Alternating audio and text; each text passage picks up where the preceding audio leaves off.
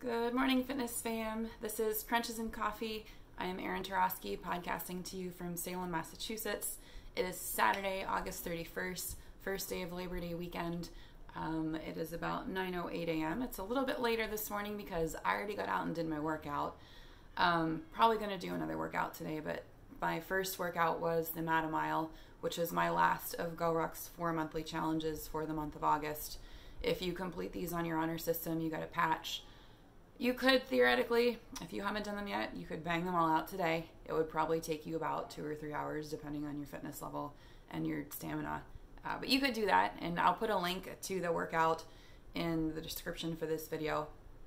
So if you want to try to do that or if you need to catch up, great, go for it. Today's workout was four stations. Oh, what did I do? It was uh, squats were the first one, and then uh, what a three minute plank hold, and then lunges, and then flutter kicks. So you do each of those for three minutes. You do a quarter mile ruck in between, and then you finish up with a one mile ruck with your uh, with a sandbag. So I did 30 pounds in my ruck, 55 in my sandbag. Ended up doing about two and a quarter miles rucking total between getting to and from the park where I did the workout. So it was a good way to start my day. It took me, I think, about about an hour, a little bit less than an hour um, but I took some photo breaks along the way because it was so pretty this morning and I was right on the ocean and I had to take some pictures for the gram. So uh, check out my Instagram. It's eturuckski, E T U R U C K S K I. There's some photos on there. It was a good morning. So, what do you have planned for Labor Day? I know a lot of people are going to do barbecues, earn your calories, go out, do something, go for a run. I'm going to probably go for a longer ruck later just to train up a little bit more. Next weekend is the HTL in New York to commemorate the 9 11 attacks. So, this is my last good training weekend before that. So, I'm going to plan to put in a good long ruck this afternoon. Probably get some knitting done because that's my jam.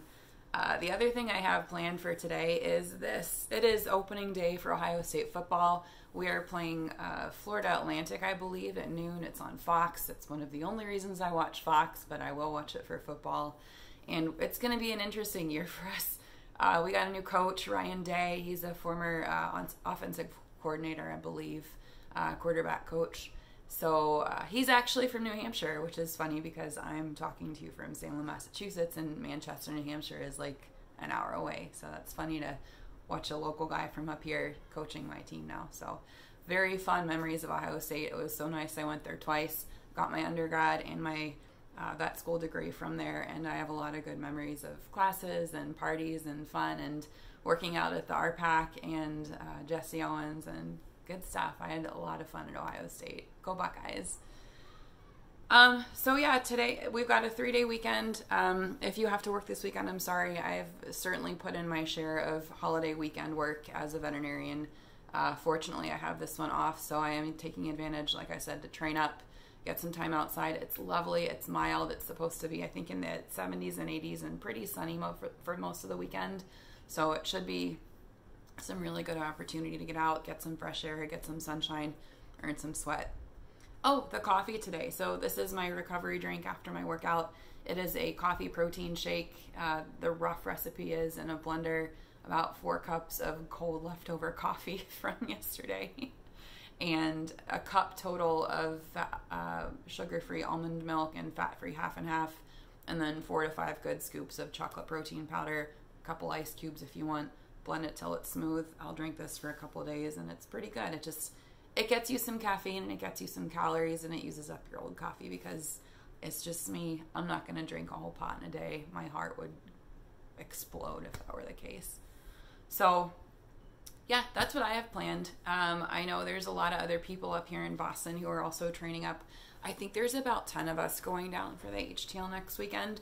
So shout out to all my Beantown Ruck Club people Tina, Ben, Nick, I think Spencer's going, um, Zach, and the New York peeps too. It's going to be an awesome weekend. I am so excited. It's going to suck so much, but it's going to be great. And hopefully at the end, we all earn our, we all earn our bolts and our patches and it's going to be a good time. So, but this weekend is all about training, getting those last few good week workouts in, and uh, burning some calories and earning some sweat equity before it's time to taper for the week. So, should be good. Should be real good. I'm excited.